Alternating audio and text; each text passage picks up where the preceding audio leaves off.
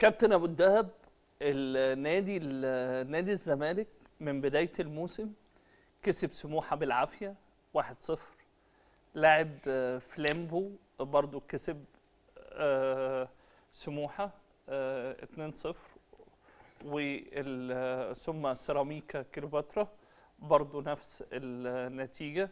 والنهارده برضو في صعوبة في ال- آه، التهديف. هل دي مشكلة راس حربة ولا مشكلة طريقة لعب ولا مشكلة إن زيزو بيلعب ناحية الشمال ولا آه، ما فيش استقرار في اختيار ال- التشكيل فبيحصل تغييرات في الشوط الثاني فبتؤدي للأزمة اللي اللي إحنا بنشوفها الأزمة الهجومية اللي إحنا بنشوفها إن الزمالك.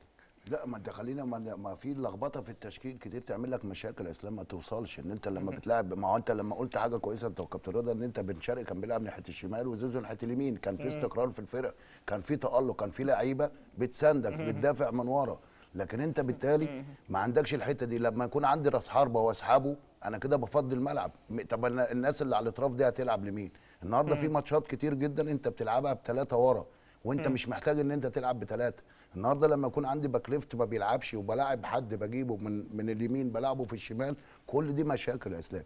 لكن واضح إن هو برضو الراجل يمكن أنا من وجهة نظر أنا الراجل كان في البداية مش موافق على بعض الصفقات أو مش مقتنع ببعض الصفقات وعنده مشاكل كتير جدا في الفرقة زي ما قلت لك. لكن واضح إن في يعني في لخبطة يعني حتى النهارده لما بتنزل شيكابالا بتنزل زيزو بتنزل آه، أوباما بتنزل حتى آه، زكريا الوردي. لا في يعني في أنا مش عارف ده بيلعب فين وده بيتحرك إزاي وده بيروح في كده. يعني في مشاكل كتير جدا ما فيش انسجام. حتى النهارده مع عم- عمرو السيسي ما شفناهوش. أنت defender جاي نادي الزمالك عندك ثقة؟ يعني ما بتزيدش ما بتشوتش شوط على الجون.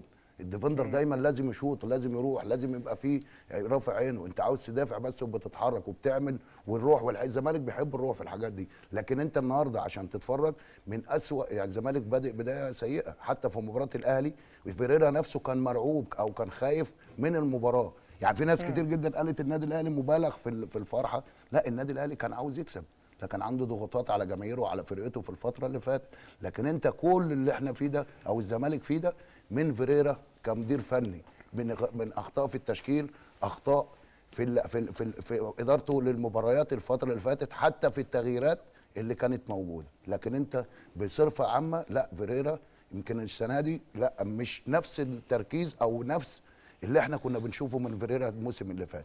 لا فيريرا عمل فرقة السنة اللي فاتت كان بيلعب بالشباب كان طلع حس- سيد نيمار طلع حسام عبد المجيد طلع اللعيبة ديت. حتى لو اللعيبة مشيت أو اللعيبة مش موجودة لكن بتأدي وبتأدي بشكل جيد جدا.